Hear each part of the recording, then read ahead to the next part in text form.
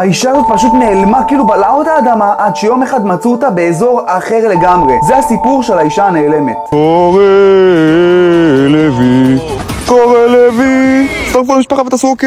תכירו את שרי פפיני, 2016, יום בהיר אחד היא פשוט נעלמה כאילו בלעה אותה האדמה. זה היה נראה כאילו חטפו אותה, שיצאה לריצה יום בהיר אחד ליד הבית שלה בקליפורניה. המשטרה, האזרחים והמשפחה שלה חיפשו אותה במשך שבועות ולא הבינו איפה היא. בעלה אפילו ניסה לאתר אותה עם האפליקציה של האייפון של Find Me ומצא את הטלפון שלה לצידי הכביש יחד עם האוזניות שלה וכמה חתיכות של שיער. ואף אחד לא הצליח למצוא אותה. עד ה-24 בנובמבר 2016, חודש אחרי שהתחילו לחפש אותה. ששרי פשוט נראתה משום מקום בצידי הכביש איזה לילה אחד. עם שקית על הראש, ידיים אזוקות, השיער שלה קרוע והאף שלה שבור. אה, ו-140 קילומטר מהבית שלה. ואתם לא מבינים מה קרה שם. חכו, הכל בחלק אחד. אל תשכחו לעקוב כאן, תחצו בפלוס. בואו נגיע ל-300 אלף עוקבים, בואו נחזור לסרטון. כשהמשטרה הגיעה אליה, היא אמרה להם שהיא נחטפה על ידי שתי נשים היספניות אלימות בטנדר שחור. אבל כשהמשטרה חפרה ליותר פרטים כדי לאתר את הנשים האלה, היא לא ידעה עליהם כלום. לא מה המניע שלהם, לא מה הם רצו ממנה, פשוט כלום. המשפחה שלה פשוט שמחה לקבל אותה חזרה, אבל המשטרה היה קצת ספקות לגבי החטיפה שלה. וב-2022,